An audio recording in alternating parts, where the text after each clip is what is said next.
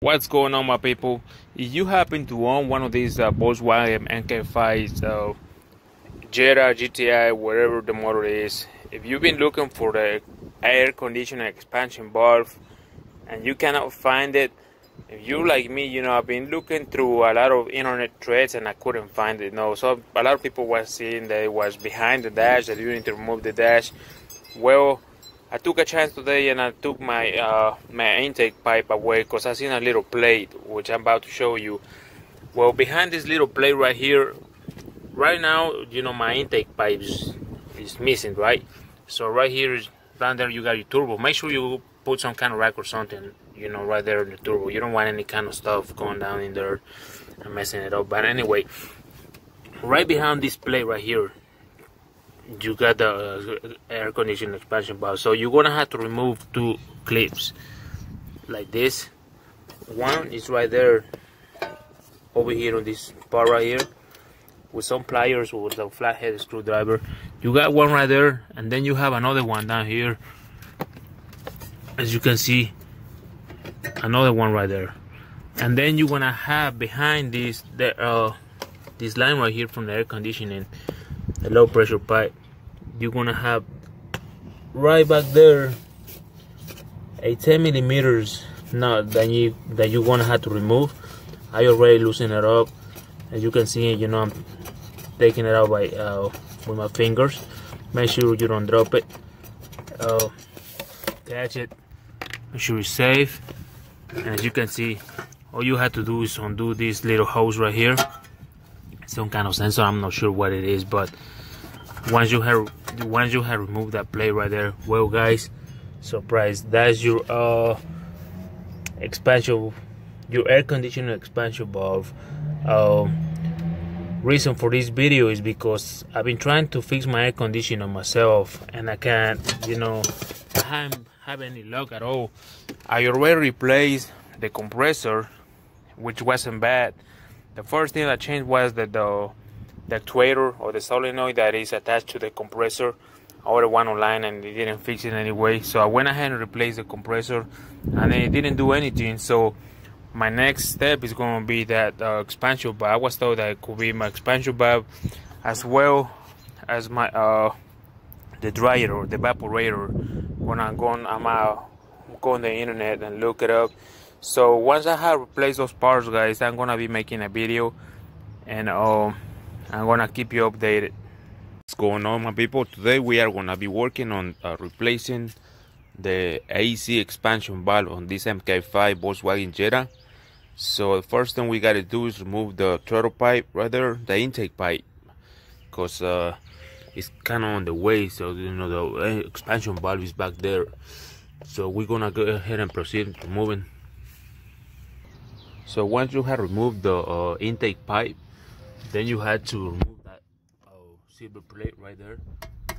And you're gonna do that by removing a clip that is over here uh, on the back. You can see right there. Just prime it off with the flathead screwdriver. And after you remove that clip then you're gonna have behind this pipe right here on the back you're gonna find a 10 millimeters nut that you had to remove as well and then it's gonna be another clip down here right there where my fingers pointed at. Uh, you remove that clip as well, and that plate should be able to. It's not gonna. You won't be able to, you know, remove it completely, but you can kind of move it over to the side. So after you have loosened up those uh, those clips and the 10 millimeters nut, then you'll be able to spot, you know, the PCB. I mean, the uh, the AC expansion back back there in the back. What's gonna give you another advice?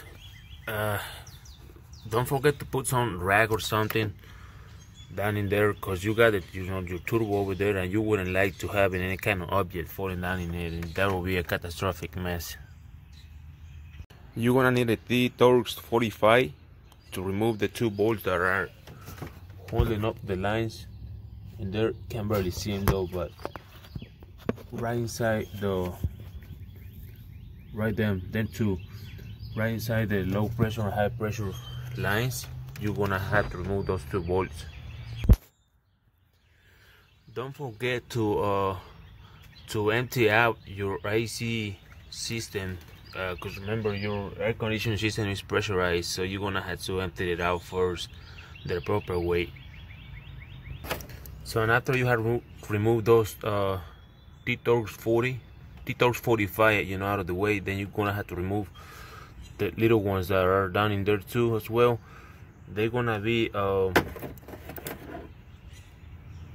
and the one I got I was able to fit in there is a uh, T532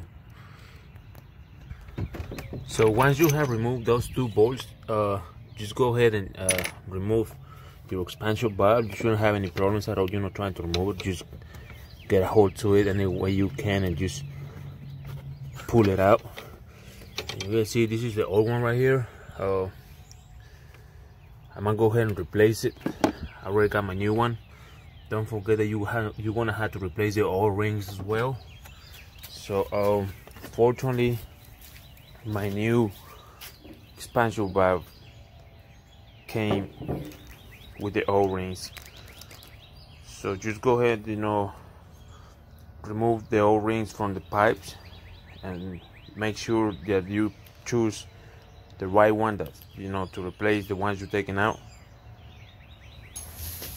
See all the uh the o-rings should be different. So this right here is from the goes be it goes behind the expansion valve into uh, my low pressure uh, line for, to the heater coil. So as you can see this one right here matches that one. So I'm gonna go ahead and get the green one and put it on place. Uh, and I'm gonna keep on doing so you know to like use all of them for. And don't forget that you need to lubricate these things. Once you have put the new o-rings into the uh, low and high pressure lines just go ahead and you know put your new uh, expansion valve back in there and just tighten up them uh, bolts just like the way you took them out. Guys when you tighten down them bolts uh, don't forget to tighten them you know uh, gradually. Um, what I mean by this I mean you know do one side a little bit and then jump over to the other side a little bit and keep on on because you don't want to uh, tighten up one side all the way down and uh, you chances you might have a leak there uh, when you tighten down you have to, you need to make sure that you're going down even on both.